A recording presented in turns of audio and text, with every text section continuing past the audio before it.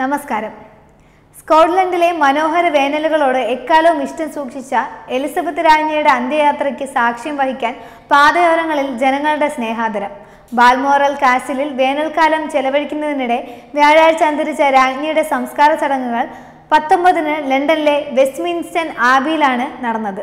സ്കോട്ട്ലൻഡിൽ നിന്ന് ലണ്ടനിലേക്കുള്ള അന്ത്യയാത്രയ്ക്കായി മൃതദേഹ പേടകം വഹിക്കുന്ന വാഹനം കഴിഞ്ഞ ദിവസം പത്തിനാണ് ബാൽമോറയിലെ സൗദത്തിൽ നിന്ന് പുറപ്പെട്ടത്.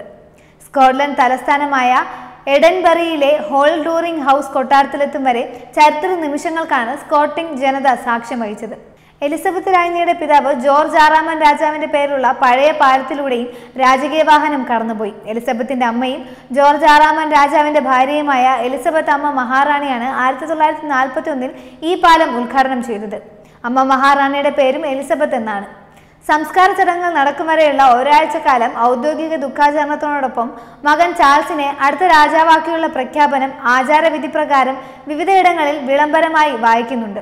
ചാൾസ് രാജാവും ഭാര്യ കാമിലയും ലണ്ടനിൽ നിന്ന് ഇന്നലെ എഡിൻബറയിലെ ഹോൾഡൂങ് ഹൗസിലെത്തും. ഇന്ന് വൈകിട്ട് അഞ്ചിന് എഡിൻബറ വിമാനത്താവളത്തിലെത്തി നിന്ന് മൃതദേഹം ലണ്ടനിലെത്തിക്കും.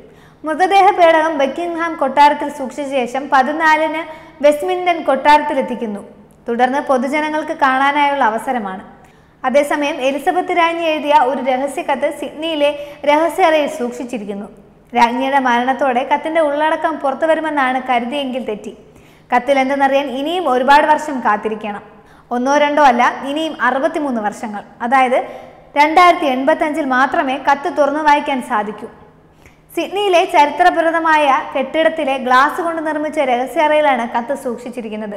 സിഡ്നിയിലെ ജനങ്ങളെ അഭിസംബോധന ചെയ്തുകൊണ്ടുള്ള കത്ത് ആയിരത്തി തൊള്ളായിരത്തി എൺപത്തി ആറിലാണ് എലിസബത്ത് രാജ്ഞി സ്വന്തം കൈപ്പടയിൽ എഴുതിയത്. കത്തിന്റെ ഉള്ളടക്കം എന്താണെന്ന് രാജ്ഞിയുടെ അടുത്ത ബന്ധുക്കൾക്കോ പേഴ്സണൽ സ്റ്റാഫിനോ പോലും അറിയില്ല.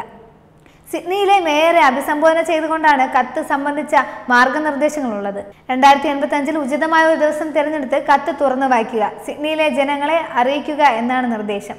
രാജ്ഞിയുടെ ഒപ്പും ഇതിനൊപ്പമുണ്ട്. വെബ് ഡെസ്ക് തത്തുമയി ന്യൂസ്.